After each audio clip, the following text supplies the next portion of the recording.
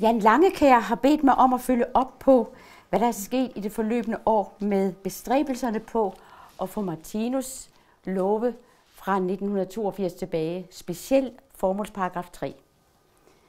Og øh, det var så stor en ting, så jeg havde meget svært ved at finde en rød tråd.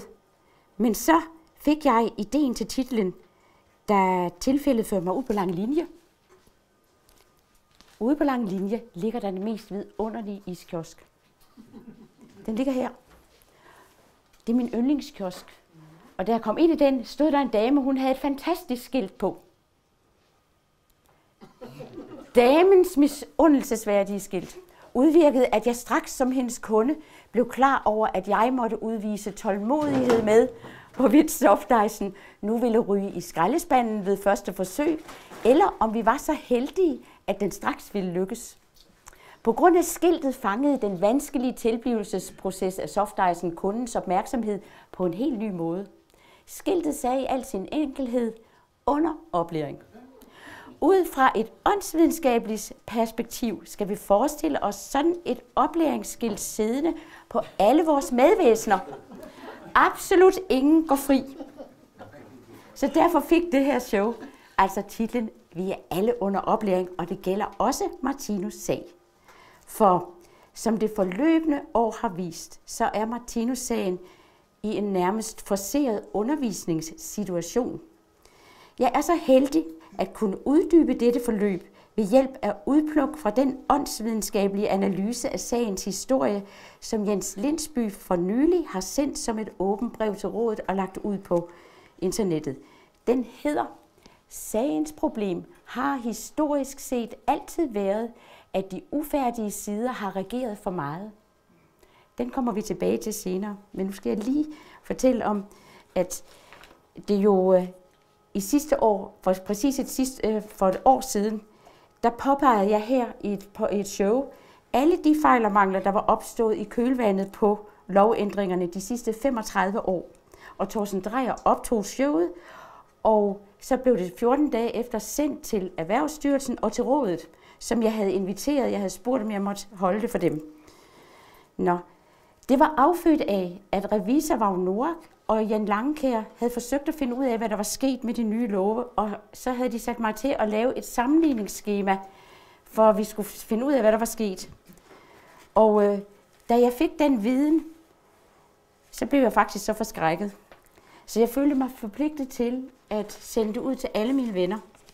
Og jeg synes, at jeg var forpligtet til at oplyse alle i sagen om, at de love, der var skabt til at vogte vores verdensgenløsers værk, var blevet alarmerende forringet.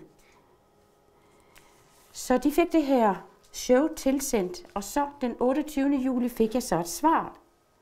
Rådet fra Martinus Institut sendte mig en ubehagelig såkaldt afvisning. Det var sådan en slags bandbulle, som forviste mig fra den boggruppe, som jeg selv havde været med til at starte syv år tidligere. Og i brevet, der bad rådet mig om, at jeg skulle holde mig væk fra Klint og instituttet fremover.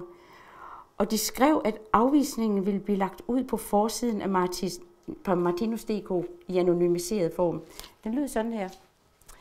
Vi vil herudover i al venskabelighed bede dig om fremover ikke at komme på instituttet og på Mariendalsvej eller på Martinus Center i Klint, hverken til foredrag eller i andre sammenhænge, i det din offentlige mistænkeliggørelse af MI og navngivende enkeltpersoner befinder sig i et åbenlyst modsætningsforhold til ånden i Martinus sag. Rådets begrundelse for ikke at vil forholde sig til alt den skriftlige dokumentation, som var på informationsvideoen, den lød sådan her. Dine punkter vedrørende historiske forhold kan vi ikke kommentere på. For det første omhandler det næste, det, det meste MI's tidligere revisor, Finn Benson, og vi kan ikke kommentere på personsager. For det andet refererer du til forhold, der ikke længere er aktuelle, og disse kan vi ikke gå ind i. Se, dette afsnit er interessant, for i så fald så er der ingen reel mulighed for at diskutere noget som helst. Alt, hvad man overhovedet kan diskutere, er jo i princippet ikke andet end historiske forhold og personsager. Så ved at henvise til, at man ikke kan kommentere på historiske forhold og personsager, hvordan skal vi så nogensinde få gjort 2014-lovene lovlige igen? Det var virkelig et chok at få den afvisning. Jan Langekær, han havde fået en afvisning en måned før, og det havde oprørt mig dybt. Men derfra så til selv at få en afvisning, synes jeg virkelig, der var langt. For jeg havde aldrig provokeret rådet på nogen måde. Tværtimod, jeg havde været i kridthuset, jeg havde spillet fløjte på Klint til flere mindedage. Og jeg havde i løbet af foråret sendt dem tre breve, hvor jeg bad dem om at mødes med mig, så vi kunne snakke om, hvad der var sket i de her love, men dem, det havde de afvist. Så det var derfor, jeg lavede informationsvideoen for at give dem dokumentationen på en nem og forståelig måde. Så det var bestemt ikke den reaktion, jeg havde forventet.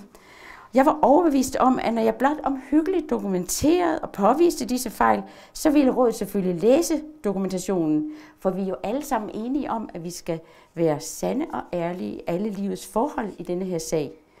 Og i min métier som klassisk musiker, der er jeg blevet trænet til, at man skal spille efter noderne. Så det gik mig virkelig på. Fordi vi lærer, at vi skal kom, øh, respektere komponisten 100%, og derfor må vi kun helst kun spille efter urteksten, som er første udgave, den første udgave, komponisten har udgivet. Så min første tanke ved afvisningen var, at jeg kunne huske, at Martinus havde sagt noget om, at ingen kan smides ud, fordi ingen nogensinde er blevet smidt ind. Så jeg vidste næsten med det samme, at den afvisning, den skulle jeg simpelthen ikke efterfølge. Tværtimod, så måtte det være min opgave at bevise, at det slet ikke kunne lade sig gøre at smide mig ud. Jeg sagde sidste gang, jeg holdt foredrag her, at jeg forstod ikke, hvorfor det var mig som musiker, der skulle stå og forklare om alle de her paragrafer, som overhovedet ikke interesserer mig. Men nu forstod jeg det pludselig, fordi nu fik jeg nemlig brug for min musikertræning til at overvinde sceneskræk. Der har vi nogle mentale øvelser, og dem gik jeg i gang med. Jeg må simpelthen overvinde mig selv og vende den anden kind til. Så jeg besluttede mig til, at jeg vil se på rådet som nogle få vildfarende mennesker, som havde misforstået Martinus analyser. Og øh, nu vil jeg lige vise jer noget af den dokumentation, som jeg havde sendt til dem, men som de afviste. Her ser I udkastet med Civilstyrelsens store stempel henover, hvor formålsparagrafen i Idealfonden bliver lavet om. Udkastet blev godkendt 5. 4. 95, på trods af, at Martinus vilje ikke var fuldt. Den måtte aldrig ændres. Det var en klar fejl fra styrelsens side. Hvad skete der? Bemærk, at der står navnet Martin. Der står Martins Institut i hele det udkast. Hvilket tyder på, at rådet aldrig har læst det. Det viste sig, at der var lavet en blanket 10 dage før, som de havde underskrevet. Hvem har jeg forfatter på det her? Den måtte ikke ændres. Denne uforståelige ændring af formålsparagrafen har jeg endnu ikke kunne finde forfatteren til. Jeg har ringet til alle dem, der stod på listen. To er døde. Og Volby fortalte mig, at de to afdøde kunne det umuligt være. Det var dem, der udførte de gamle love. Jeg ringede til Hans Wittendorf, som kunne sige, at han kunne slet ikke huske, at de havde lavet lovene om. Og så var der jo ikke så mange tilbage. Så var der Ville tilbage, og så var der Finn Benson. Og ja, så det har jeg forsøgt at finde ud af, om jeg har ikke kunne løse problemet. Den anden, det, det faktisk, jeg spurgte selvfølgelig om, hvad er det her for noget. Så sendte jeg dem også et notat fra, altså inden fra Erhvervsstyrelsen, som var utrolig mystisk. Se, det er fra 95. Angående oprettelsen af det her berømte tofondefundament, som resulterede i tilladelsen til at oprette en ikke almennyttig aktivitetsfond – den fejl blev først opdaget i 2013, og rådet erkendte i sommerbrevet 2015, det var oprindeligt aldrig stifters vilje at splitte fonden ad. Det er aktivitetsfondens fejlbehæftede vedtægter, vi har i 2014-lovene. Og notatet består af tre sider, som I kan se her, dem kan man gå ind og kigge. Og på sidste side, skal I lægge mærke til, det er et internt notat, inde i Erhvervsstyrelsen, de har fået, den her plan om de her to underlige fonde, og så det ender med en konklusion. Han skriver, den ene skriver til den anden, denne sag er noget værre råd. Så skriver ham tilbage i hånden. Kan man ikke bede dem om at få sig en advokat? Kunne man ikke indkalde dem til møde og personligt forklare dem, hvad de skal gøre?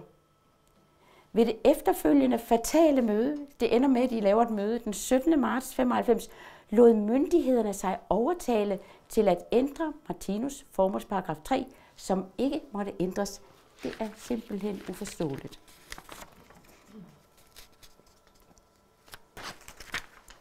Ja.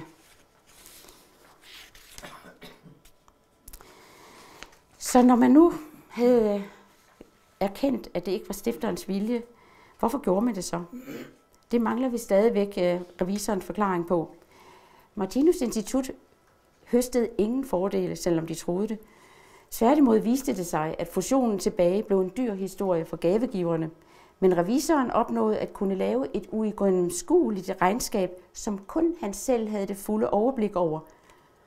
Civilstyrelsen og Erhvervsstyrelsen valgte at stole på hans ord om, at lejeindtægterne fra Martinus Institut aldrig ville overstige bagatelgrænsen for ikke erhvervsdrivende fonde. Og vi skal sige, at det lå lige omkring bagatelgrænsen, da, da fonden lige nåede at blive oprettet i den 11. time. Rådet overlod alt med økonomi og fonde til revisoren. Og der var ingen af dem med til det her møde i Erhvervsstyrelsen. Så vi bliver nødt til at se den pinlige realitet i øjnene, at verdensgenløseren fik uretmæssigt ikke erhvervsdrivende fond i 17 år, indtil det blev opdaget inde i styrelsen ved et tilfælde i 2013. Al denne indlysende dokumentation nægtede rådet at kigge på. De skrev, at mine handlinger var i et modsætningsforhold til ånden i Martinus sag. Og det affødte naturligvis spørgsmålet, er ånden i Martinus sag absolut sand og ærlig i alle forhold? Så jeg svarede rådet, jeg håber, at det nye råd vil se videoen og forstå sagens alvor, og jeg vil betragte jeres venlige henstilling om ikke at komme til Mindedagen på Klint som en tilgivelig misforståelse af Martinus analyser. Og på samme måde vil jeg fortsat komme i den studiegruppe, som jeg har været med til at starte for mere end syv år siden. Og kun hvis medlemmerne i boggruppen ønsker, at jeg skal gå ud, vil jeg føle mig nødsaget til at gøre det. Når I offentliggør dette brev, så husk at offentliggøre mit svarbrev. Og det gjorde de jo så ikke. Så forsøgte jeg i løbet af sommeren at lægge en forsonende tone an, sendte dem endnu mere dokumentation, og jeg forsøgte at sige til dem, at det var altså, at det ville gå alvorligt ud over renomméet, hvis de ikke fulgte lovene fra nu af. Og det var jo sådan, at, at jeg havde jo fundet ud af, at der var tre, der sad ulovligt. Og fra den 13. august ville der være tre, der sad ulovligt. Jeg forsøgte virkelig at hjælpe dem med at, at redde anseelsen, fordi jeg synes, jeg har altid set meget op til det råd. Så jeg skrev på Facebook, at det her med, at Per Jan havde siddet der et helt år ekstra, det var nok en fejltagelse. De havde nok bare glemt at rette på hjemmesiden, at, at Mary havde overtaget hans plads. For selvfølgelig havde Per Jannik siddet halvandet år for længe på. Det var der jo ingen, der kunne finde på. Med andre ord, jeg gjorde alt for, at hvis de bare roterede til den 13. august, så kunne vi ligesom redde renomméet. Og så kom mindedagen, og alt gik glat. Ja, der var ikke nogen, der afviste mig fysisk. Men til min store græmmelse, så roterede rådet ikke. De udskiftede ikke, som de skulle. Og da der var gået endnu en uge, så skrev jeg på Facebook, nu har vi et ugyldigt råd i Martinus sag. Den 14. august 2016 gik den guddommelige glans endeligyldigt af rådet ved Martinus Institut. Alle fremtidige råd vil fra nu af skulle forholde sig til den pinlige plet, der kom på rådets renommé i 2016, da dets medlemmer holdt op med at rotere, sådan som Martinus bestemte det skulle være. Ingen må sidde i rådet i mere end syv år. Det står i 14-lovene og skal overholde, det skal overholdes ifølge dansk fondslov, hvis rådet ønsker at leve op til at være sande og ærlige i alle livets forhold. Ordret lyder lovparagrafen i den nye 2014-udgave. Ingen kan være suppleant og bestyrelsesmedlem i mere end sammenlagt syv år. Denne kloge beslutning fra Martinus side indførte han for, at absolut ingen skulle få for meget magt. Hans automatiske udskiftningssystem skulle samtidig sikre, at der kom dynamik og nye idéer ind i sagen. Efter mindedagen lige der omkring, så inviterede min boggruppeleder på instituttet, Line Jeppesen, inviterede mig til et møde, så vi kunne snakke om det. Hun tilbød at udvirke over for rådet, at jeg kunne blive i min boggruppe, hvis jeg lovede at fjerne informationsvideoen fra YouTube. Det viste sig, at hun endnu ikke havde set videoen, men hun havde hørt nogen sige, at jeg havde været lidt for hård i min måde at formulere sandheden på. Det bekræftede jo min nye mistanke med hensyn til ånden i Martinus sag. Jeg havde imidlertid talt med en af mine boggruppekammerater, og vi foreslog i fællesskab Lene, at vi skulle bare lade som ingenting. Vi skulle lade som om det ikke var sket. Og mens jeg var på Klint, så talte jeg så med en af foredragsholderne om det faktum, at Per Jan nu, så vidt man vidste, at han havde siddet der et år for længe, hun udtrykte nærmest sorg over, at det var sket. Og da jeg så foreslog, at hun, som kendte rådsmedlemmerne godt, skulle påpege denne fejl og mangel på en fredelig måde over for rådet, så sagde hun til mig, at det var nok bedst, at jeg, udenforstående, du er jo uden, du er udenforstående, at jeg klagede til Erhvervsstyrelsen. Så da vi ikke kunne få hjælp fra nogen i rådets nærhed, så endte det med, at vores lille tremandsgruppe, Vagnorak og Jan Langkær og mig, vi påpegede fejlen i en mail til Erhvervsstyrelsen den 25. august. Og Erhvervsstyrelsen bad allerede måneden efter rådet om at indsende en liste over deres udpegningsperioder. Og så var der bare tilbage at vente og vente på, at Erhvervsstyrelsen skulle komme med en afgørelse. Men den næste hurdle var jo, at jeg skulle ind på instituttet til min første boggruppedag. Og jeg mente jo, at den kærligste måde måtte være at gå med stille med dørene og vende den anden kind til. Og øh, mine boggruppevenner og jeg, vi var blevet enige om, at hvis jeg affandt mig med den der, og, og lod mig skræmme ud af min gruppe, så ville den gruppe blive delt i to, og det var en meget velfungerende gruppe, og det var jo en løsning, alle ville være kede af. Så jeg måtte altså bare se at overvinde det, og mine venner, de mødte op, og de guidede mig op ad trappen. Og der stod Peter Bensen, rådsmedlem Peter Bensen, og tog imod. Der kom vi. Hvem kan afvise dem? Martinus ord gik i opfyldelse i september 2016, da rådsmedlem Peter Bensen i det afgørende øjeblik trådte et skridt tilbage og lod mig passere forbi på trappen ind til instituttet sammen med mine boggruppevenner. Alt er så godt. Der er ingen, der kan blive smidt ud, for der er ikke nogen, der er blevet smidt ind. Så jeg fortsatte i boggruppen som blind passager og betalte, og alt er så godt. Men så inden jeg nu begynder på Jens Lindsbys analyse af det her, så vil jeg lige, for jer som ikke var her sidste år, har jeg lavet en logbog. Det er bare et slide, hvor jeg skriver, hvad det var, der skete sidst indtil da. Hvad sker der nu? Sådan der. I januar, sammenligningsskema A, med de fem paragrafer, som ikke måtte ændres, blev udfærdiget, og vi dannede en lille tremandsgruppe til at stå vagt om de gamle love, bestående af forhåndværende revisor Vagn Norak, Jan Langekær og mig. Hele undersøgelsen blev sendt til rådet og til Erhvervsstyrelsen. En opdatering af rådslisten afslørede, at Per Jan Nergård havde siddet et år for længe i rådet. Her gik jeg solo, i håb om at fremme dialogen, for jeg synes jo, jeg kendte dem. Og jeg skrev personligt den første af i alt ni henvendelser til rådet. Jeg bad om et møde for at få afklaret rådssammensætning og få forklaring på, hvilke tvingende nødvendige grunde der havde været og bevirket, at vi havde mistet Martinus automatiske udskiftningssystem med hensyn til rådssammensætningen i de nye love for 14. Så i april, der var sammenligningsskema B angående ændringerne i de andre paragrafer, som kun måtte ændres, hvis det var tvingende nødvendigt. De var blevet udfærdiget, og de blev ligeledes sendt til rådet og til Erhvervsstyrelsen og til alle Martinus-vennerne. Og så udfærdede jeg et faktablad, som hed Vær at vide om fondene, som blev lagt ud på Martinus Webcenter. Og jeg påbegyndte en informationskampagne i Facebook-gruppen Martinus Interessegruppe, fordi jeg mente, at den bedste måde at hjælpe Martinus på var at fortsætte med at påvise fejlene og få informationerne ud til så mange af vennerne som muligt, når nu rådet ikke ville mødes med mig. Og så i maj, så modtog vi Erhvervsstyrelsens agtindsigt, som vi havde søgt om. I første omgang 600 sider og senere 1500 sider. Den gav forklaringen på, hvorfor tofondefundamentet i 96 aldrig skulle have været oprettet, og hvorfor fusionen tilbage til en fond igen i 2014 medførte, at fonden mistede betegnelsen almennyttig dette strider imod stifters utryggelige vilje og vil uden skygge af tvivl blive rettet med tiden. Ja. Så i juni, der søgte rådet åbenbart tilskyndet af alle mine henvendelser, men uden at informere nogen om det. Så søgte de Erhvervsstyrelsen om vedtægtsændringer, som ville medføre, at de siddende rådsmedlemmers udpegningsperioder ville blive forlænget med syv år. Det er selvfølgelig i klar modstrid med Martinus ønsker. Det er meget imod Martinus. Så her kan I så se, hvordan efterhånden så hobede dokumentationen sig op. Her ligger videoen, hvor jeg forklarer om, hvad der er, der er sket. Her ligger alle slides for præsentationen, hvor, de, hvor øverste side af dokumenterne ligger.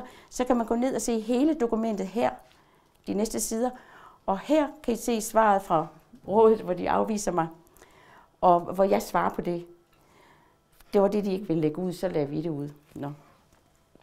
Og så lavede jeg denne her ved at vide om ændringerne. Det var for, at dem, som bare ville sætte sig ind i det på 10 minutter, de kunne printe sådan et faktablad ud, og de kunne downloade det, og så stod der på et stykke papir, det der var, hvad der var galt med lovene. Altså, det var forskellen på de gamle og de nye. Og så for lige at vise jer, hvad der er noget af al den dokumentation, som ligger der,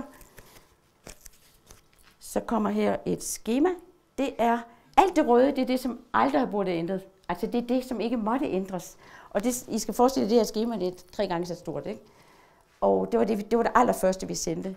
Det er den dokumentation, som alle kan gå ind. Den er frit stillet rådighed, og på, øh, på den der hjemmeside kan man simpelthen informere sig om alt, hvad der er sket med Martinus Fonde igennem tiderne. Så med påvisning af alle disse fejl og mangler, så vil jeg jo påstå, at det der, det er en soft ice lige ned i skraldespanden. Så forsynet må blandt andet har sendt os denne her konflikt på halsen for, at vi skal lære at forstå, at vi skal spille efter noderne. Vi skal ikke ændre i lovene. Hvis rådets udskiftningssystem havde fungeret, er det meget sandsynligt, at retssagen aldrig var blevet til noget. Martinus-sagen høster med andre ord sin karma, og den skal lære at forstå, at sagen også er under en oplæring. Og her går tæppet fra. Her har vi Jensens analyser. Nu skal vi analysere det ud fra et åndsvidenskabeligt synspunkt. At denne sag måtte ende i en undervisningssituation er jo logisk, hvis vi tænker på, at sagen har karakter og udviklingstanken, når vi tænker på sagens karakter og udviklingstanken i Martinus verdensbillede. Der kommer altså et væsen fra et andet rige end vores eget og fortæller os om en væremåde og moral, der ligger tusindvis af år frem i tiden. Da han forlader sin fysiske inkarnation, står jordmenneskene tilbage med et værk og nogle rådsreferater, der ganske vist sætter retningen for denne sag, men jordmenneskene har hverken nogen fremragende intuition eller fremragende kontakt til Gud. Hvordan skal de dog kunne varetage en sag, som de slet ikke er udviklet til? Vi skal jo tænke på, at den moral, rådet og os andre bliver bedt om at leve op til, jo først vil være fuldt realiseret på jorden om 3.000 år. Vi må således forsvare disse personer, der skal varetage Martinus Institut, for hvor ellers i verden bliver man sat på en post, hvor man på forhånd ved, at den, der besidder posten, ikke har kvalifikationerne til at varetage posten.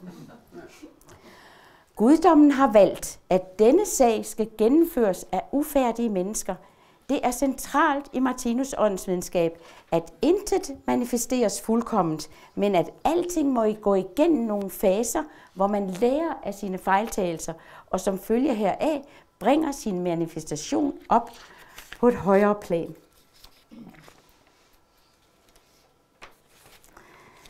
Der har hele vejen igennem sagens historie været mennesker, der var udvalgt af forsynet, men som faktisk endte med at modarbejde Martinus.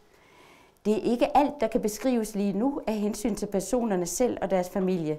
Det er dog ikke nogen stor hemmelighed, at både Lars Nibelvang og Erik Gerner Larsson forlod sagen i skuffelse, da deres personlige ambitioner ikke blev imødekommet af Martinus. Gerner Larsson var jo en kæmpe arbejdskraft og helt uundværlig i sagens tidlige år – men han var jaloux på alle andre, der kom tæt på Martinus. Og det var hans hensigt, at det var ham, der skulle lede sagen. Ja, gerne mens Martinus selv levede. Martinus blev spurgt, hvorfor han ikke skilte sig af med Gerner. Og Martinus svarede, at det kunne han ikke, for Gerner var indsat af Gud. Gerner forsøgte at tiltvinge sig magt i sagen, for eksempel ved at sørge for, at Martinus ikke kom til bestyrelsesmøderne, her er Martinus egen beskrivelse alt, hvad der står med grønt af Martinus citater. Martinus siger, Ejgil Hansen, han er jo en ærlig mand, og han sørgede jo for at skrive i protokollen. Og pludselig, så går der lang tid, og jeg synes, det er da mærkeligt, at vi ikke har haft nogen bestyrelsesmøder. Så siger jeg så til Ejgil Hansen, det er længe siden, vi har haft bestyrelsesmøde. Ja, men det havde vi da i aftes. Ja, vi har da haft et til, ved du ikke det, siger han så. Nej, det ved jeg ikke. Jamen, Erik siger, at du har sagt, at det kan vi godt holde alene. Du bryder dig ikke om at være med. Selvfølgelig skal jeg da være med til det. Det er da helt skørt. Tænk sådan en frækhed. vi må konkludere, at forsynet ikke har nogen særlig fremragende antal muligheder til sin rådighed, når forsynet er nødt til at vælge væsener, der ender med at modarbejde sagen. Gerner Larsen måtte jo også stille spørgsmålstegn ved Martinus bevidsthed, for at få folk til at forstå, at det var Gerner, der skulle lede sagen. Her er med det med Martinus egne ord. Og da så det ud til, at han var begyndt at lave en propaganda imod mig. I 20 år mindst havde han rakket mig til og sagde både det ene og det andet. Det er 20 år, vi snakker om.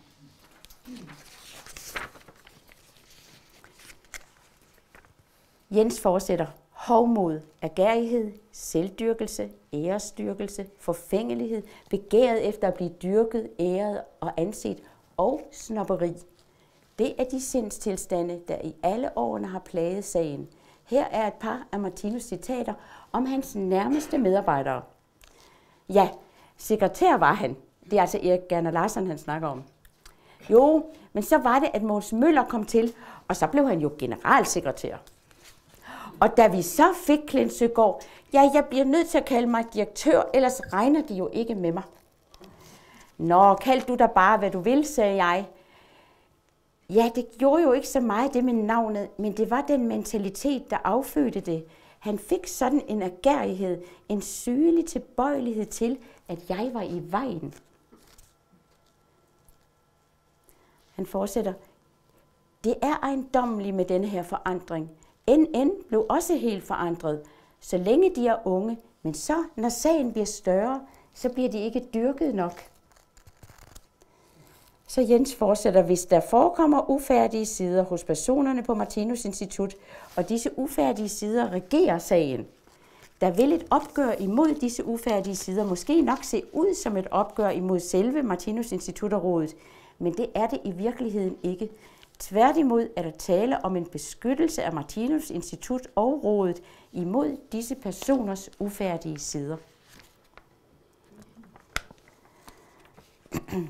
Og til sidst kommer så Jens Lindsby med en analyse af, hvad det i virkeligheden var, der foregik, mens Martinus endnu levede. Han kalder det for historien om en fundamental udløsning af den nye verdensimpuls. Martinus, der er ikke nogen, der skal smides ud af vores. De er aldrig smidt ind, de går ind og ud af sig selv. Og hvordan ved vi så, at det var sådan i praksis? Ja, det ved vi, fordi Martinus jo i 20 år var udsat for en nedrakning, det er hans egne ord, og modarbejdelse af Erik Gerner Larsen. Men Erik Gerner Larsen blev ikke smidt ud. Martinus prøvede at tale med Gerner Larsen og fremhævede alt det gode, Gerner Larsen havde opnået. Men det hjalp jo ikke, for Gerner var helt opslugt af sine ufærdige behov. Og hvad gjorde Martinus så? Ja, han gjorde ikke noget. For han vidste, at det selvfølgelig ikke var ham, der skulle løse det med tyngdeenergien. Her er, hvad Martinus siger efterfølgende. Og der måtte jeg altså lige hen og slå op, hvornår var det nu, at Erik Anna Larsson døde. Han døde i 1973. Og året efter i 74 siger Martinus, men det har forsynet ordnet på en pæn måde. Vi ser her, hvordan Martinus løser tingene på en højintellektuel, næstekærlig og logisk måde. Vi ser, hvordan hans ord og handlinger hænger sammen som perler på en snor, ligegyldigt hvilket emne der berøres. Vi ser, at han hele vejen igennem højst påtaler, hvad han synes er forkert, men han smider ingen ud eller fører retssager, og dermed agerer han hele tiden ifølge den nye verdensimpuls, i det han ikke forsvarer sig, og dermed udløser han jo så freden. Den bevidsthed, Martinus udfolder, er af en helt anden verden og livsindstilling. Jeg ligger så højt, at selv hans egne tilhængere reelt ikke forstår det. Ja, mange af hans tilhængere har slet ikke opdaget denne handlings storhed. selvom de har gået lige op og ned af ham. Vi må således inderligt takke Martinus og forsindet for, at tilgivelse og ikke forsvaret er blevet manifesteret i en sådan pragtudgave på Mariendalsvej og Klint. Og vi må håbe, at det med tiden bliver en ledestjerne for alle sandhedssøgere. Samlet ser vi, at tilgivelsen og ikke forsvaret er manifesteret i to storslåede udgaver på jordkloden. Den ene på Golgata i en kort, smertefuld udgave, og den anden på Mariendalsvej i en mere langvarig udgave igennem 20 år.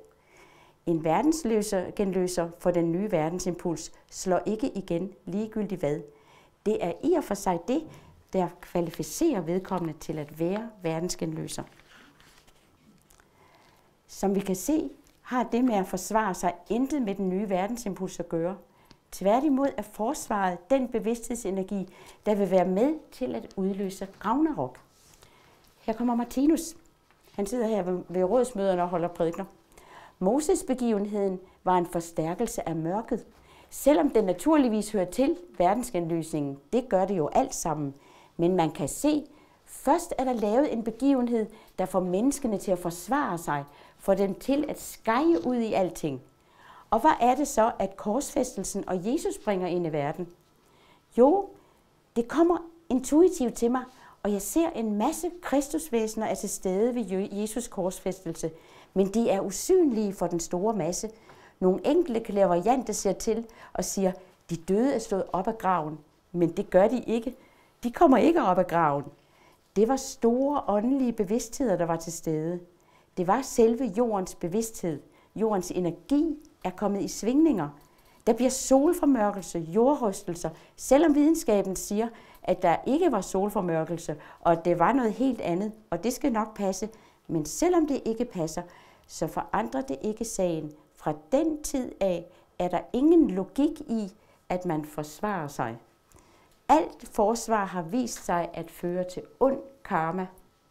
Og han fortsætter, de kommer til at se, at deres største ulykke er forsvaret. Det er i dag menneskehedens største fjende.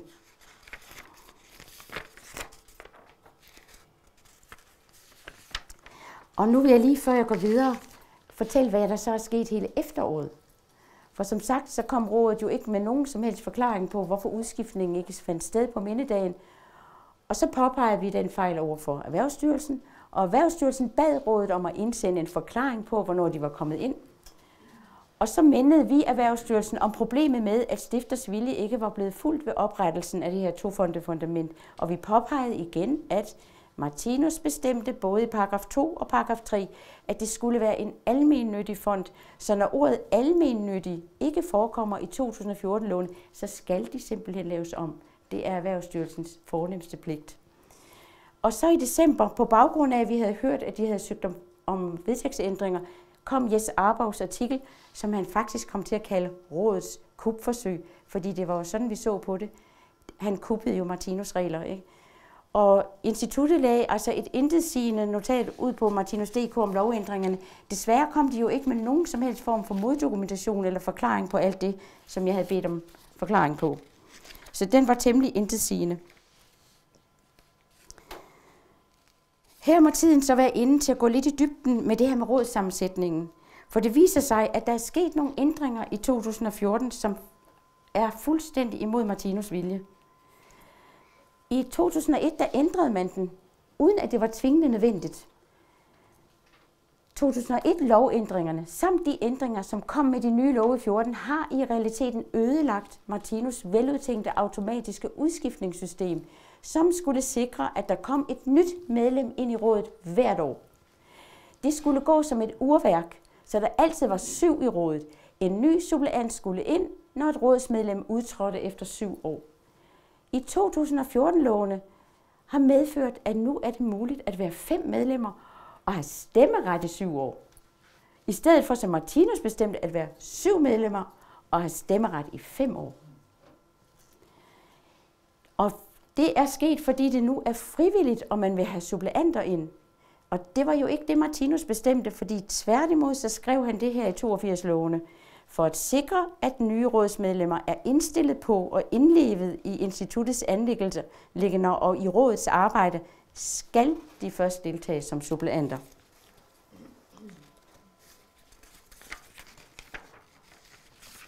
Vi forklarede Erhvervsstyrelsen, at de her vedtægtsændringer i 2014, de var imod Martinus øh, ønsker, og at de her uforklarlige ændringer var begyndt i 2001.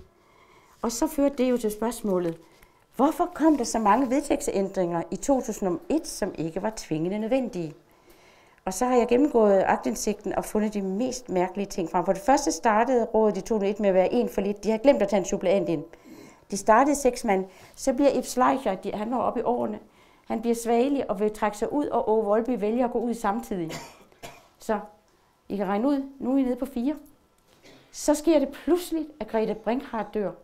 I juli måned, pludselig dør hun. Det var slet ikke med. Så er de nede på tre. Og så får de en anmeldelse til politiet.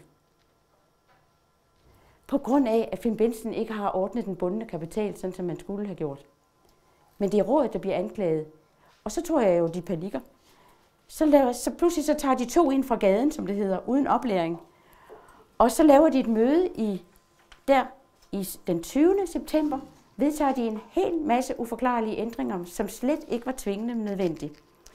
De for eksempel sletter de overgangsbestemmelserne i paragraf 11 om, at nye medlemmer kun måtte sidde i, i seks år. De måtte kun have fire års stemmeret. Martino synes jo fem år var lige, så i overgangsfasen måtte de kun have fire års stemmeret. Det sletter de. Ændrer sekstallet til et syvtal. Og i aktivitetsfonden, der vedtager de det her. I fondens formål slettes udsagnet om bevarelse af værkerne.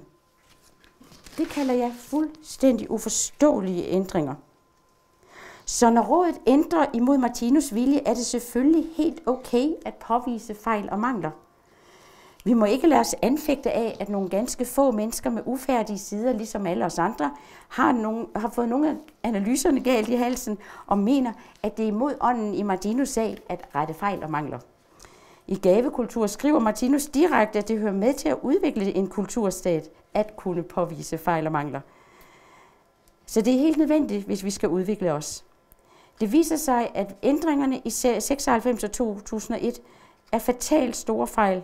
Ganske få personer fik alt for stor magt i alt for lang tid og førte en udgivelsespolitik, som førte til splittelse i sagen. Er der nogen, der nævner ordet karma?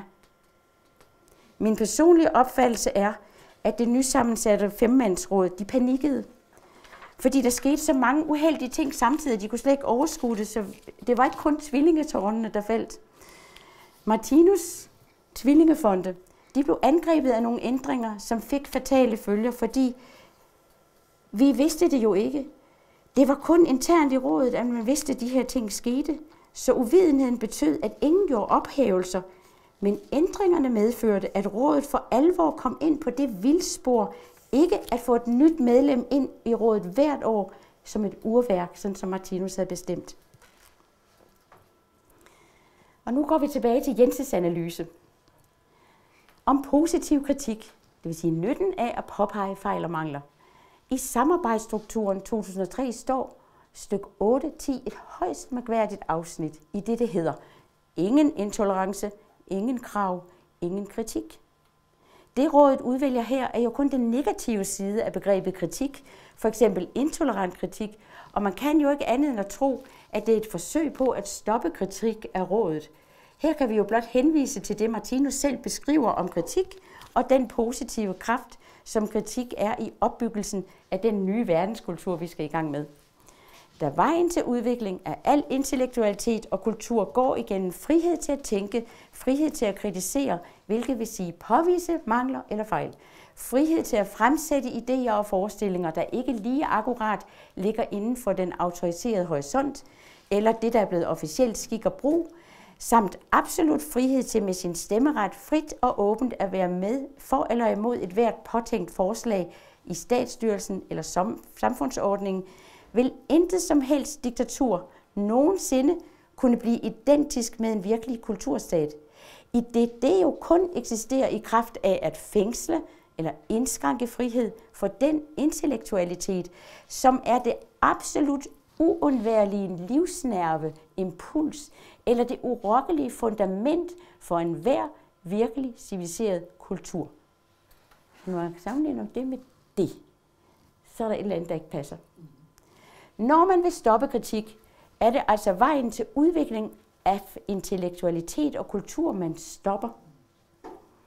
Der er kun én vej for rådet, og det er at fremføre sine synspunkter gennem visdom og intellektualitet. Alt andet kommer til at falde til jorden. For at tydeliggøre de her fejl og mangler, ved den måde rådet har udskiftet på, så har jeg fremstillet to skemaer, hvor man ved hjælp af farverne kan se, hvordan rådet skulle have udskiftet. Martinos automatiske udskiftningssystem. Er det ikke smukt? Han var meget glad for det. Det skulle være sådan, at mens der sad nogle af de gamle tilbage, og den, den situation opstod netop i 2001, der, var, der skulle hele tiden seks ind, og der sad en fast. Så var der seks års perioder. De havde kun fire års stemmeret. Og se, hvor fint det passer. Og nu viser jeg så, hvad det, I skal vide, at navne, det er alle mine fløjteelever. Det er bare, jeg har bare puttet nogle navne ind, for, at I skal, for man skal, skal se, at så kommer der hele tiden en ny person ind hvert år. Og det er det, der, han var, øh, som Martinus ville have, der skulle hele tiden udskiftning. Når vi så den sidste faste går ud, så sker der pludselig det, at seksårsperioderne bliver forlænget med en grøn felt, fordi alle skal have samme magt, så alle skal påtage sig næst sidste år være næstformand, og sidste år skal de være formand. Så pludselig så bliver det til syvårsperioder. Og det her, det skal bare fortsætte og fortsætte og fortsætte. 500 år frem i tiden, som Jens siger. Fordi om 500 år, så kommer de første rådsmedlemmer ind med kosmisk bevidsthed. Så kan vi begynde at snakke om ændringer. Se, her ses så, hvad der er sket. Der skulle nu være sådan, at de her blå felter skulle udgøre et fint mønster. Ikke? En, ud, en, en hvert år. De lille felter, det er de år, hvor de glemte at tage suppleant ind. Læg mærke til, det retssagen, det er konflikten, der begynder her. Og hvad resulterer det i? De kan ikke finde ud af at gå ud, så nu bliver de hængende for længe. Så de gule felter viser de rådsmedlemmer, som overskred syvårsperioden, hvilket er en meget, meget tvivlsom rekord.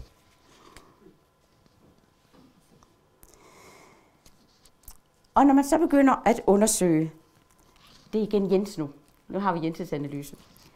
Når man begynder at undersøge, hvad der i virkeligheden er sket på Martinus Institut, der opdager man hele tiden, at her foregår der ting, som man ikke skulle kunne tro, at ville ske.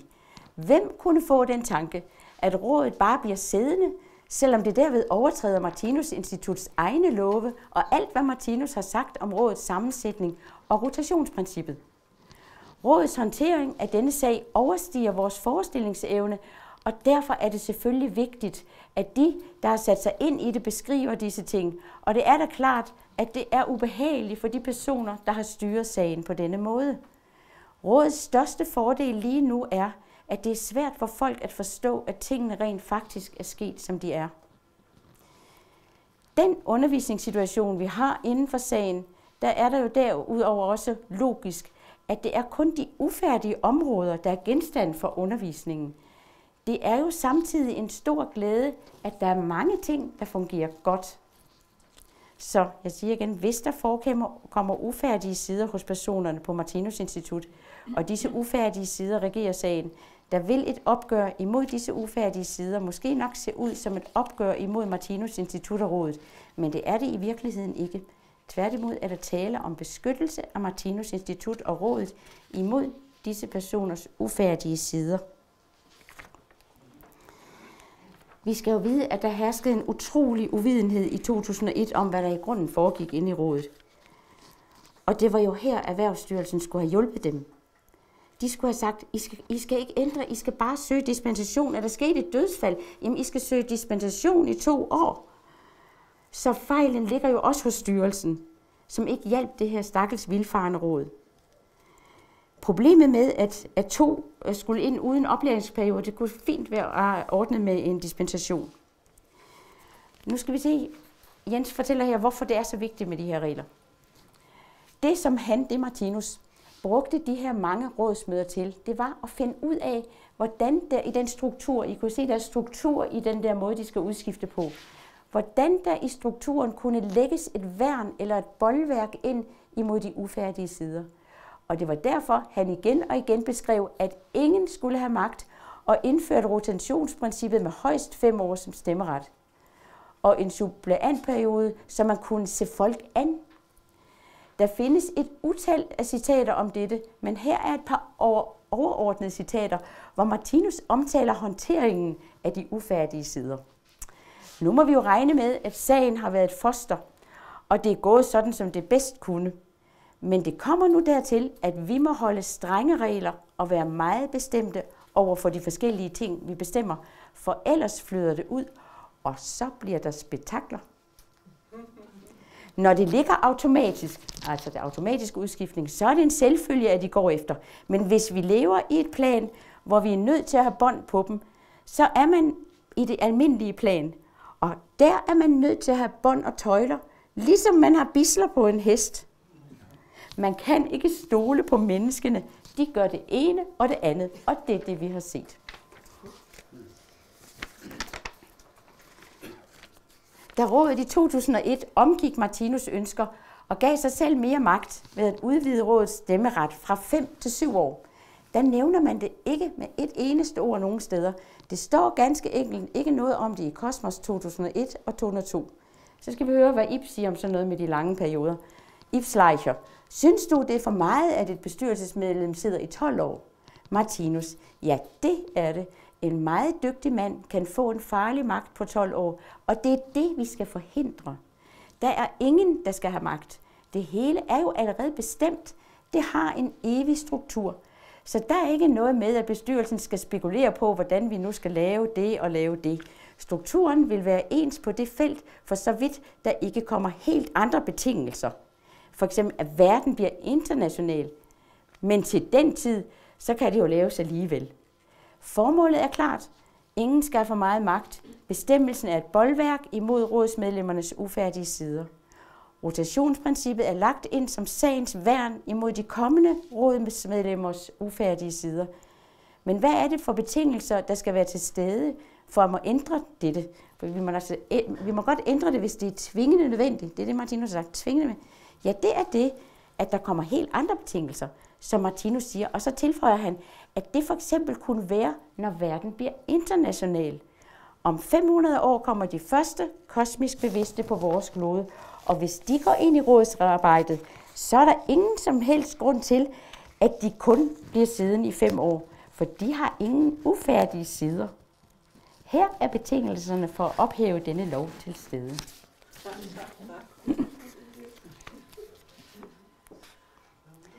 Med hensyn til sagen, så er de beslutninger, som Martinus tog, meget høje beslutninger. Det er faktisk forsynets beslutninger. Jeg er ganske vist 88 år, men jeg får endnu fuldt ud direkte de impulser fra Gud, hvor efter min mission og sag skal ledes.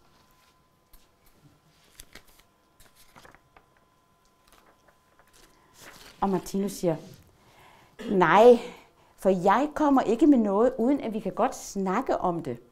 Men når jeg endelig har bestemt, så er det fra forsynet bestemt. Så kære, kære råd, jeg håber, I kan forstå, at den seriøse forsker ikke kan godtages jeres begrundelse fra det nye notat, I lagde ud den 7. juli på Martinus.dk, om at Martinus udtalte, at I gerne må ændre på rådets sammensætning. Det citat er fra 1974 og dermed forældet i forhold til den endelige bestemmelse fra 1981, som er fra forsynet bestemt.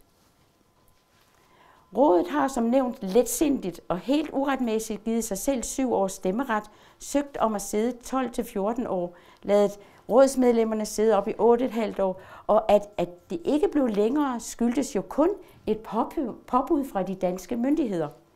Men dermed er rådet jo endt i en direkte konfrontation med forsynet, i det det er forsynets beslutninger, man ændrer på. Og nu skal I så se, hvordan det er gået i rådet siden 1956. Her indtil Martinus døde, i den orange, der gik det stille og roligt, og de kom flere og flere i rådet. Så døde Martinus, og de sad syv tilbage. Det gik godt i fire år. Og så kan I se, så begynder det at rode, fordi da Rolf gik ud, kunne de ikke rigtig finde ud af, at de skulle jo supplere op. og så går der rod i det. Men læg mærke til, at de første, her respekterer de øh, lovene, der er stadigvæk kun 6 år, de sidder i 6 år. Det var fra 82 til 2001. Og så kommer, det må du godt gå videre, så kommer, nu kan I se rådbutikken. Ved gennemgang af rådslisten må man konstatere, at rådet kun har været sammensat efter stifters vilje i 14 ud af 36 år. Og det kan I selv studere de her slides derhjemme. Som det kan ses, er rådet endnu ikke udlært i at opnå den automatiske udskiftning, som Martinus ønskede. Så efter påvisning af alle disse fejl og mangler, så trænger vi til en mental pause. Så jeg har en lille overraskelse til jer. Jeg har en musikalsk overraskelse. Det er en lille, et stykke musik, der var fire minutter, hvor I skal slappe af, og så skal I se på billederne fra Moskilvad. Og så vil jeg guide jer gennem musikken og fortælle, hvad det er, de siger til hinanden. Der er fem musikere. Vi starter med Fred, og det er Karl Nielsen. Det er hans salme, der hedder Er du mod falden, kære ven?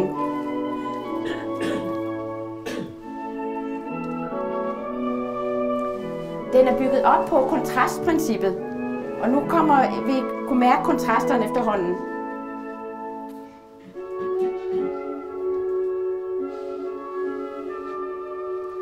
Sådan skal vi samtale i fremtiden.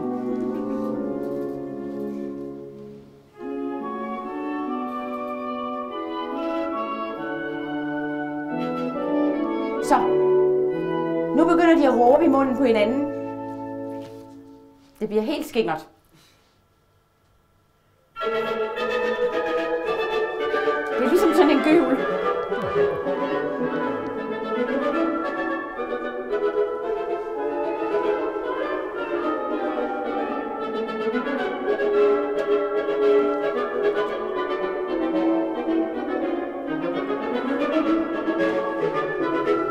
Og nu, nu kommer det dyriske op i dem. Der er to af dem, der kommer op og skændes. To kommer op og skændes nu.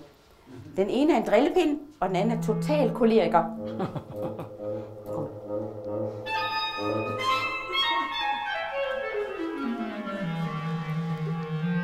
Hør, hvor han driller.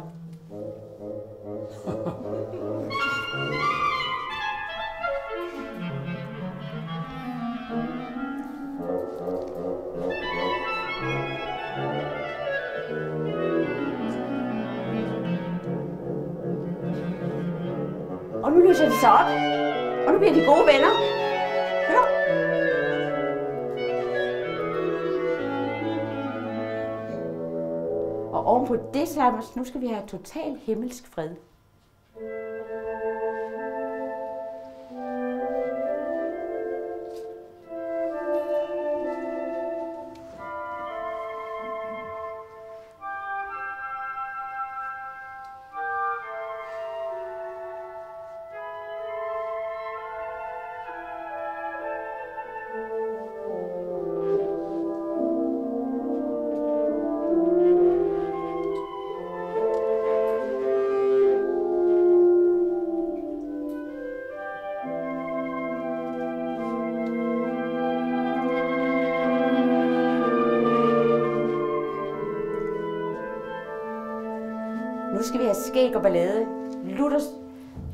Jokes hen over bordet.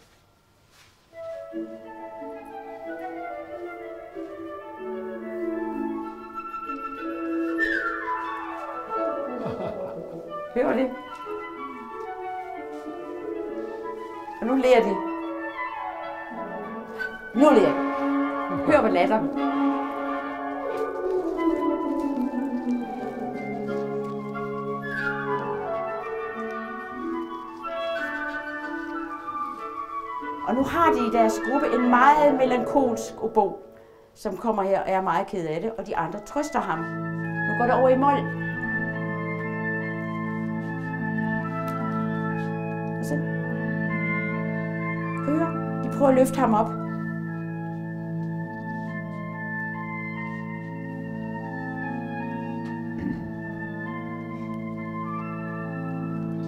Og de trøster ham, og de gav ham ret. Det er hårdt.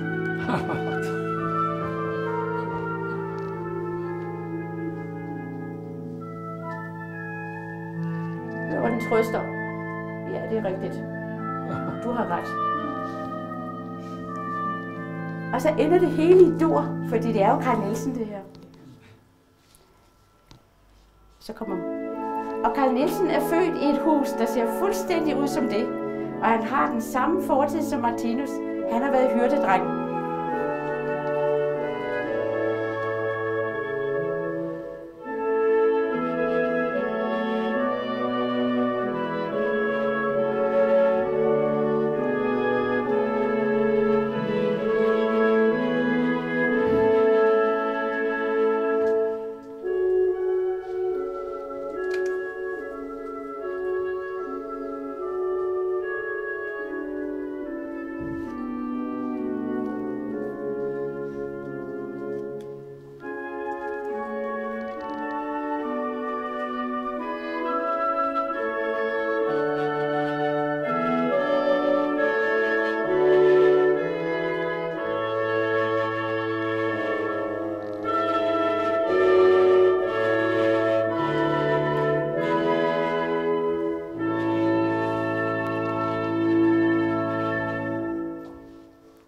Kunne godt være, at der var nogen, der skulle åbne vinduerne lidt.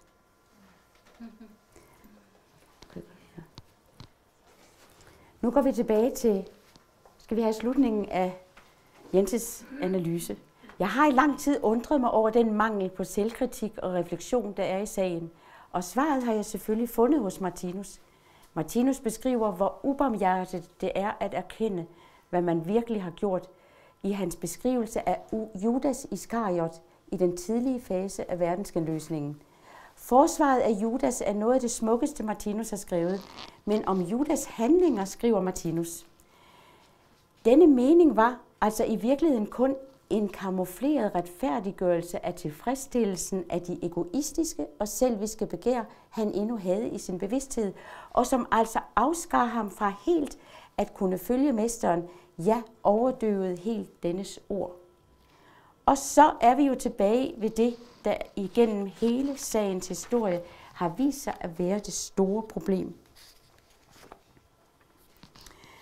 Jeg er selvfølgelig godt klar over, at nogen vil tage det ilde op, at jeg drager Judas ind i dette, i det Judas i folkemunde er en forræder. Men så må man bruge et øjeblik på at sætte sig ind i, hvem Judas virkelig var. Judas er absolut ikke en forræder, men en person, der er nået så langt frem i udviklingen, at han fornemmer storheden i Jesus ord, og derfor virer sit liv til dette. Samtidig har han uudviklede sider i sin person, der selvfølgelig forårsager uheldige handlinger. Judas er således en intern person i verdensgenløsningen, udvalgt af verdensgenløseren selv. Men han er også en person, der på trods af sit engagement og evne til at forstå verdensgenløseren, ikke forstår det helt og har ufærdige sider, der kommer til at modarbejde verdensgenløsningen. Og det er jo netop det, der er hele problemet i denne sag, og har været det lige fra starten. Derfor kan vi ikke undgå at drage Judas ind i det, men man må jo forstå, hvem Judas er. Her er, hvad Martinus siger om Judas. Men da Jesus personligt valgte omgangsfælder og venner, ikke kan tænkes at være banditter, kommer det her til syne, at Judas må have haft et af ham selv, altså et af ham selv opfattet ædelt motiv til sin ulykkelige gerning.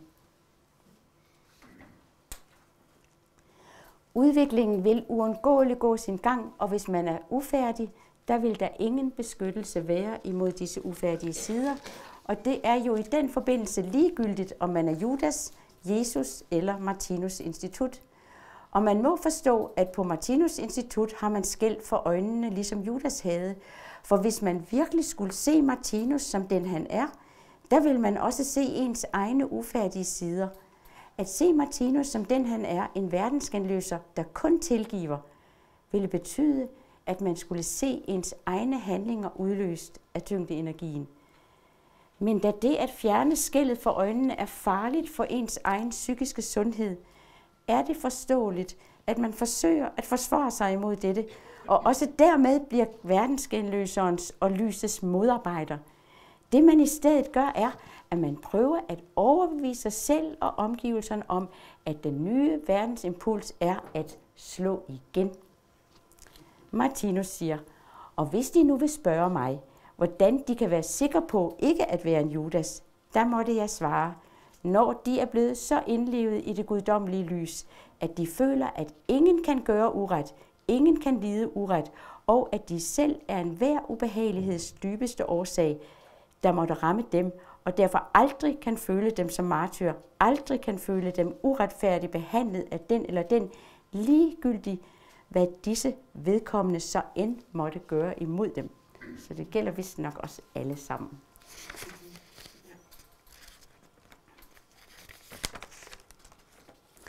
Det har altid været sådan med åndelige bevægelser, at de største anslag mod en åndelig bevægelses indhold og håndtering er sket indefra.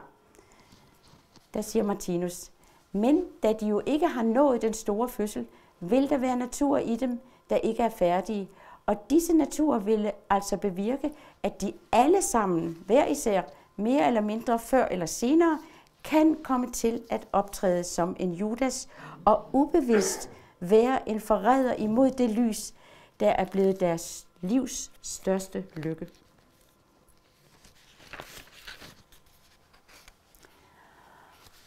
Og nu er vi kommet til, hvad der er sket det her forår, for der er sket store ting med låne. I januar 2017 Erhvervsstyrelsen afgjorde, at de tre medlemmer, Per Nergård, Trine Møller og Jakob Kølle, skulle udskiftes med øjeblikkelig virkning. Rådet søgte herefter straks om dispensation efter paragraf 61 for Trine og Jakobs vedkommende. Per Jan blev nødt til at gå ud.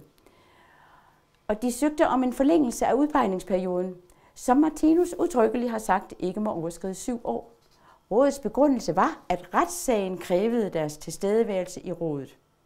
Vores advokat sendte en advarsel til Erhvervsstyrelsen om, at paragraf 61 kun måtte anvendes, hvis fondens overlevelse var truet, og at vi derfor ville klage til ombudsmanden, hvis stifters vilje ikke blev fuldt. Så skete det alligevel i marts. Erhvervsstyrelsen gav dispensation til Trine og Jakob i forløb i to og fire år. Og det kan jo ikke undre os, når vi har set, hvor meget de har sovet i timen alle de andre gange.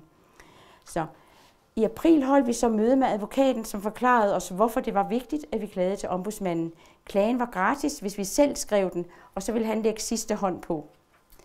Så skete det endelig i maj, at Per, Nergård, per Jan Nergård blev så efter ni år udskiftet med en ny suppleant, Lennart Pasborg.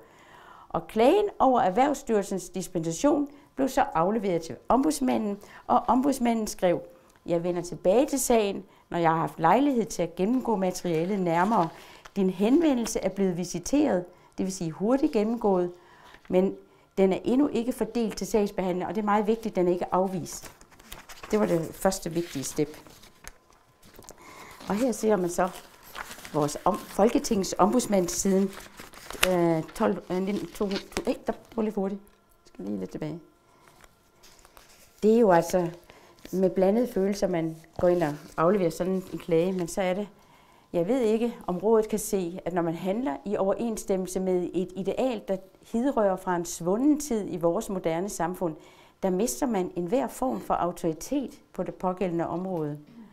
Herudover skal blot endnu en gang henvises til det samfundsopbyggende i kritik og nævnes, at den nye verdensimpuls ikke er noget, der skal foregå internt og skjult et eller andet sted, men at den nye verdensimpuls er noget åbent og transparent.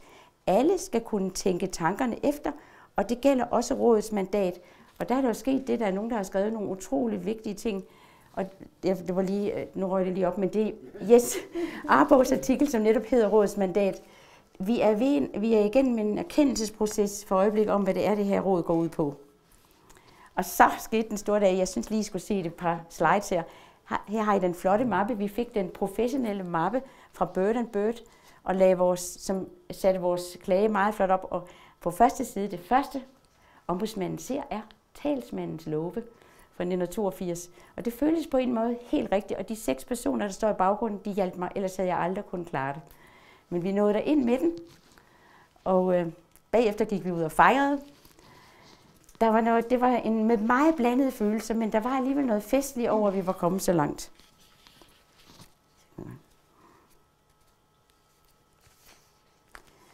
Og så kommer jeg Jens til sidst med sådan en sjov øh, analyse om, hvad det grunden er, der foregår for øjeblikket. Ikke? Han siger, men når man ikke kan anvende Martinus verdensbillede i sin forståelse af, hvad det er, der sker, kommer man selvfølgelig til at lægge sig op af de tidligere epoker i samme verdensløsning. Og det lyder sådan nogenlunde sådan her. Moses-epoken. Der er nogen, der har krænket os og er illoyale, omtaler os nedsættende og som modarbejder sagen. Vi slår igen, vi sagsøger dem, og dem, der ytrer sig imod os, dem smider vi ud. Så kommer den næste verdensepoke, Jesus, den dogmatiske periode. Martinus ønske er, at der skal være fred i sagen. Der er det kærlighedens sag, og man må ikke kritisere nogen, for man skal elske sin næste. Denne sag er nødt til at nå frem til at kunne udfolde intellektualiseret kristendom, altså at forstå livsytringerne ved hjælp af de åndelige love.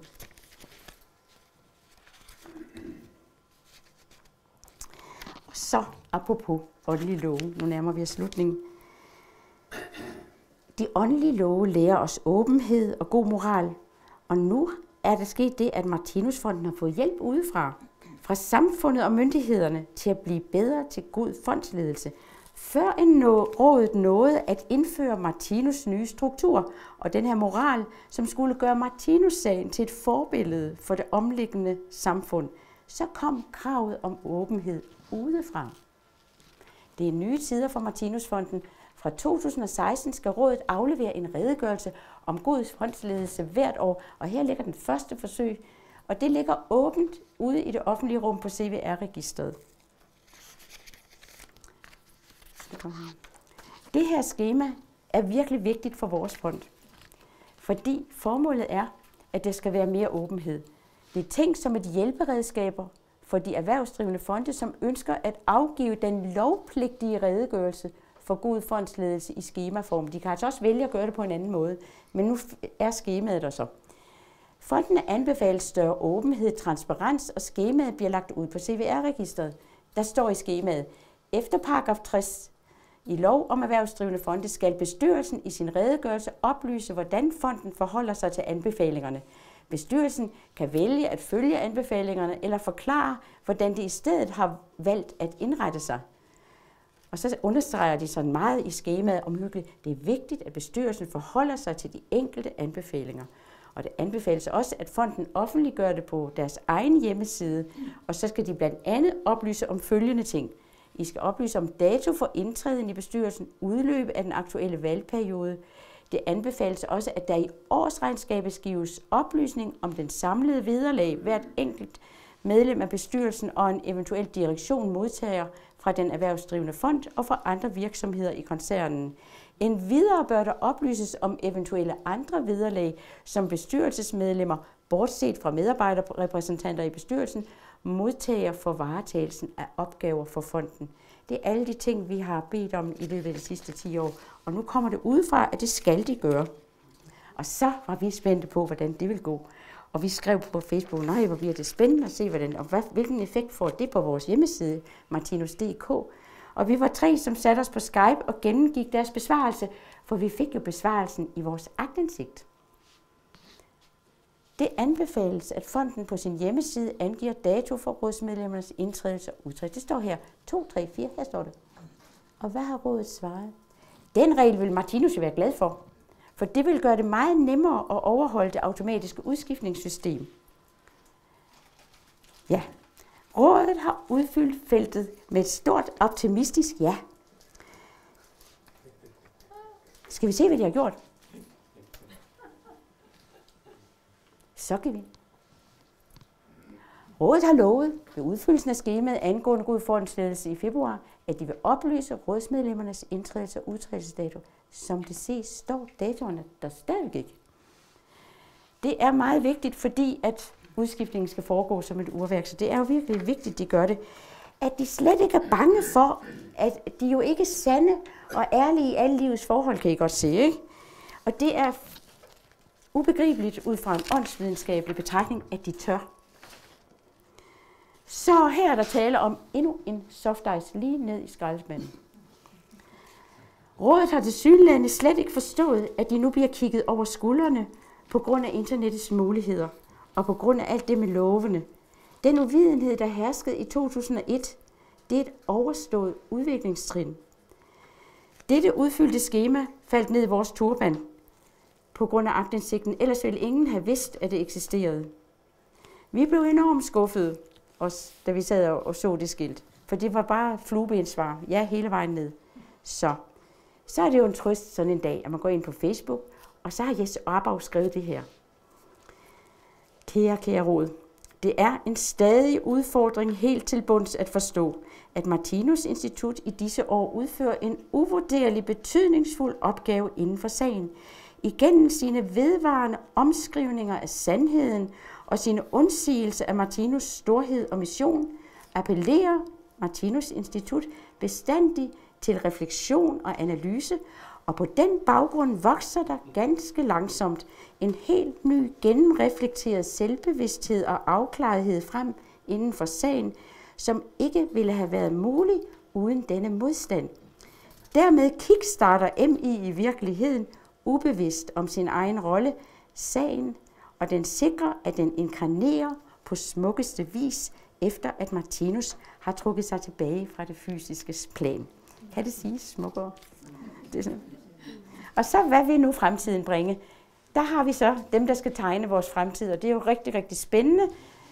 Problemet er bare, at Mary har siddet fire år som suppleant.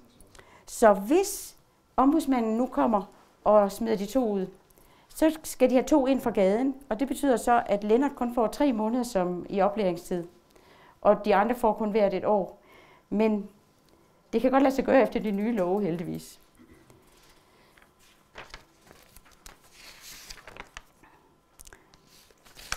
Så kan du godt gå videre. Til slut så har Jens så et bud på fremtiden. Han siger her, at den nye verdensimpuls delvis må være en gåde på MI, ja, må være noget teoretisk. Det ses ved, at man nænder at gøre mod sin næste, og det er et udtryk af et udlevet ideal i vores del af verden. Det er i øvrigt også derfor, at den kritik, der nu bliver rejst, sker fra personer, der ikke har nogen, noget formelt med Martinus Institut at gøre. For de kan jo ikke blive smidt ud og udsat for andre ting. Det er også min klare opfattelse, at det giver problemer for rådet, for nu kan man jo kun forholde sig til kritikken igennem intellektuelle resonemanger, og da man ikke har nogen magt over kritikerne. Men i virkeligheden er det en faliderklæring, at kritikken kommer uden for Martinus Institut, for det skyldes jo kun, at klimaet på Martinus Institut er af en beskaffenhed, hvor kritik reelt set ikke kan lade sig gøre. Men samlet ser vi således, at Martinus Institut på en lang række områder som videnskab, overholdelse af love, ytringsfrihed og varetagelse af individets rettigheder er bagefter udviklingen i det almindelige samfund. Men det skal vi jo ikke være kede af, for vi er jo bare alle sammen under oplæring. Se.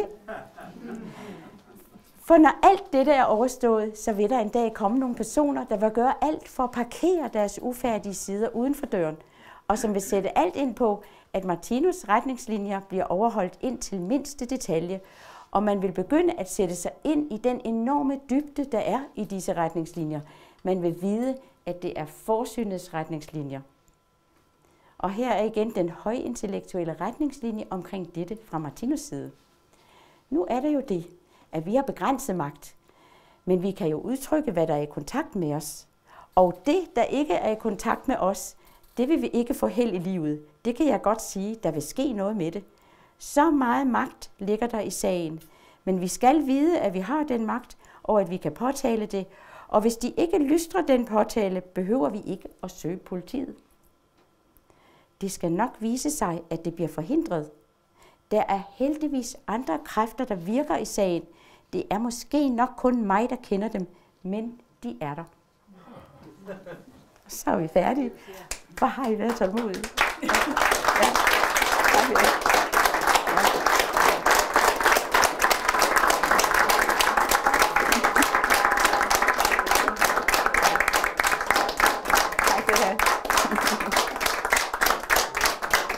Hey Jens, hvor er Jens? Jens, vil du godt komme herop? Hvor er Jens hen? Der var du. Jo Jens, vil I godt lige give Jens en hånd?